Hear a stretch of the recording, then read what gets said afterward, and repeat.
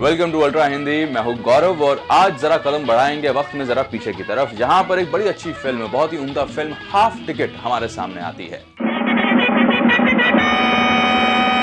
किशोर कुमार और मधुबाला की romantic chemistry इस फ़िल्म के गाने बहुत ही पसंद किए गए थे। मैं तुम्हें यहाँ सिर्फ़ एक्टिंग करने के लिए लाई हूँ माई डियर एक्टिंग तुम करना प्यार मैं करूँगा। आँखों में तुम ये वो दौर था जब किशोर कुमार एक्टिंग में ज़्यादा मसरूफ थे और संगीत में जरा कम। पर फ़िल्म हाफ़ टिकट के अंदर किशोर दा ने लता मंगेशकर की छुट्टी कर दी थी। जी हाँ इस गाने को जरा आप देखिए। इसमें लता जी की जगह किशोर कुमार ही गा रहे हैं, लड़की और लड़के की आवाज़ में। आके सीधी लगी, दिल पे जैसे कटरिया ओ सवरिया। ओए आके सीधी लगी, दिल पे जैसे कटरिया ओ सवरिया।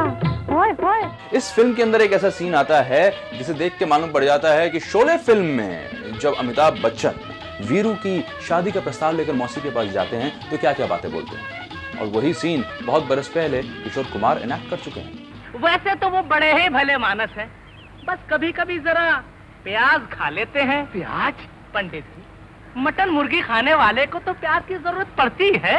शिव शंभो शिव शंभो मांस इत्यादि भी खाते हैं। खर्रा चढ़ाने वाले को तो गोश्त की ज़रूरत पड़ती है पंडित जी। शिव शंभो शिव शंभो तो विजय बाबू मदिरा भी सेवन करते हैं। देवदास थोड़े ही है। वो भी जब कभी महीने में एक आध बार गाना सुनने चले गए तो। उस दौर के विलन प्राण साहब ने भी हाफ़ टिकट में ज़बरदस्त काम किया था। चुपचाप एक हीरा बच्चे बने किशोर कुमार की जेब में डाल दिया था और फिर अपने भतीजे के पीछे ये भागते रहे। चाचा भतीजे का ये रिश्ता कैसे बना था? इस सीन में साफ़ हो जाएगा। जल्दी करो। चाचा? हाँ। मेरा बाप तो अपने बाप का इकलौता बेटा था। फिर तुम कहाँ थे टपक पले मैं तुम्हारे बाप का कज़न हूँ। अफ्रीका से आया हूँ।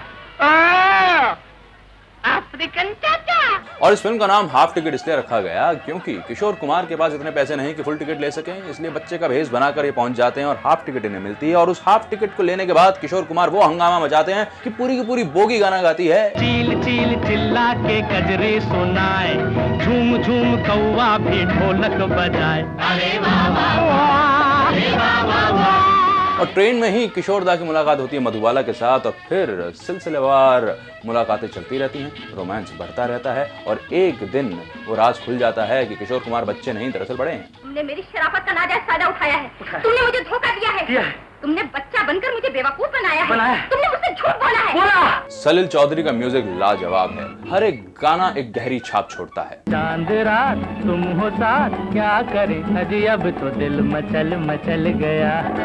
दिल का एतबार करोगे जी कल जो ये बदल बदल गया। ये फ़िल्म उस जमाने की भी बात आपके सामने रखती है जहाँ पर पिता अपने बेटे के पीछे पड़ा रहता था कि अब शादी कर ले अब शादी कर ले और उसी शादी से बचने के लिए किशोर कुमार घर से भागते हैं और रोमांस के जंजाल में फंस जाते हैं और फिर शादी से कैसे बचेंगे साहब? मेरा बेटा नहीं पिछले जन्म का दुश्मन है दुश्मन। अब मैं तुझे इस घर में एक मिनट भी नहीं रहने देना चाहता हूँ। अच्छा। ब्लैक एंड व्हाइट फिल्म्स में ये एक ज़बरदस्त नगीना है। कुल मिलाकर फ़िल्म बहुत हंसाती है और वाकई आपकी तबीयत खुश कर देती है। आप क्यों नहीं अपने होने वाले दामाद को अच्छी तरह से देखें? क्या मिली?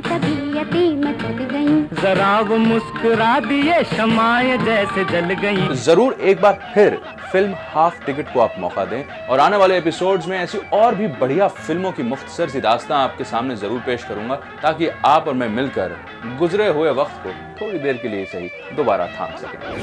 सब्सक्राइब करें अल्ट्रा मूवी पार्लर